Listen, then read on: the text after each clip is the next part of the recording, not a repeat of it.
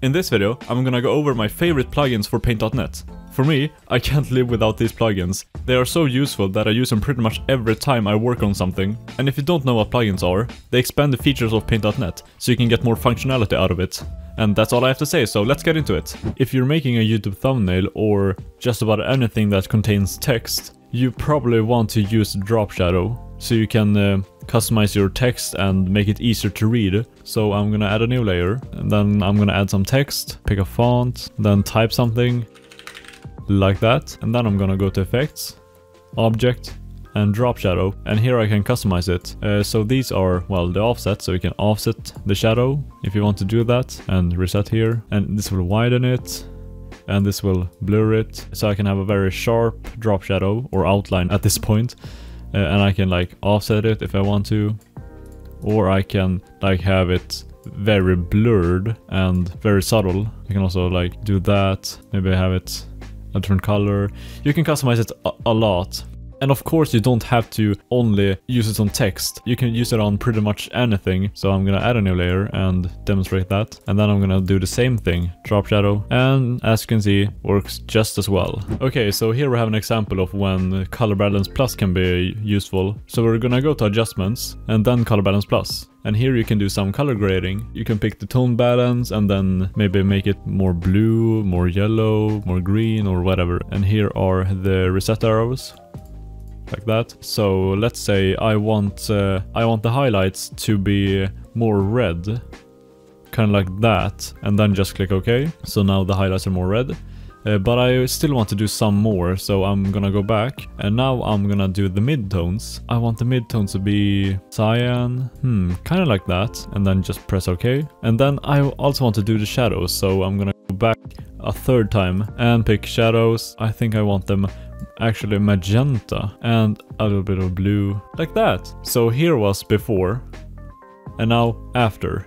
It gives the photo a whole different vibe. Okay, so let's say I want to cut this apple out, but I can't really do it with the, the regular magic wand. It doesn't really select the, only the apple, it selects everything else, so that doesn't work. And using the lasso select is very tedious. I have to be very precise with it, and if I mess up, I have to yeah, it's you have to like go back and redo it and it's it's just a mess. So instead we're gonna use Alpha Cutter, go to Effects, Object and TR's Alpha Cutter and here we can uh, zoom in by just scrolling. Just left click around the apple to cut it out.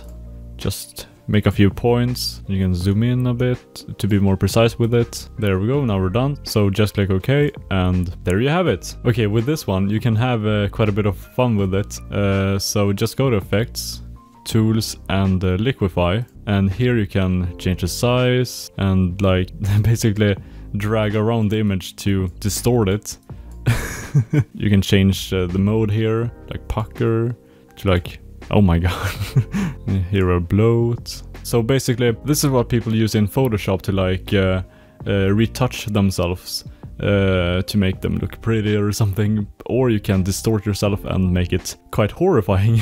so like that. So this plugin is very good if you want to like, uh, if you want to give your image a cool look. You've probably seen the effect before, it's called RGB shift or as in this case, channel shift. So go to effects, Asmageddon tools, and channel shift and set this to 1. Now we can shift the X or Y uh, value. You can either drag it or just use the arrows here. I prefer using the arrows because dragging it will drag it like a lot. so I usually just use arrows here. So that will create this uh, RGB shift effect, which looks pretty cool. I have now set it to 1, but you can change it to get different colors. So that is pretty neat. And you can also shift the y-axis, of course. So that looks pretty cool. So that's my 5 favorite plugins in Paint.net. And as I said earlier, I use them almost every time I work on something. So in all my thumbnails and all my posters, I have used at least one of them. You can find all the plugins in the description so you can download them. And if you need help installing, I have a video covering that. And that's it for the video, so thanks so much for watching and bye!